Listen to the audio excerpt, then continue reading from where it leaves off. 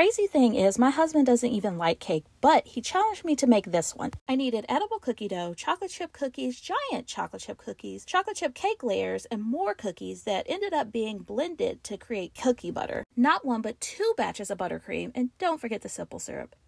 That was a lot. And when everything was all done, it was finally time to assemble. I was not expecting for this cake to take me all day, but there were so many tasty components to it.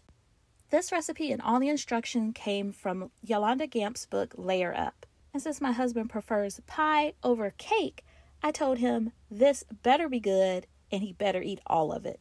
Are you a pie person or are you a cake person? Let me know in the comments below. Once this cake was all stacked, it was time to apply the crumb coat of icing and then the final layer of icing.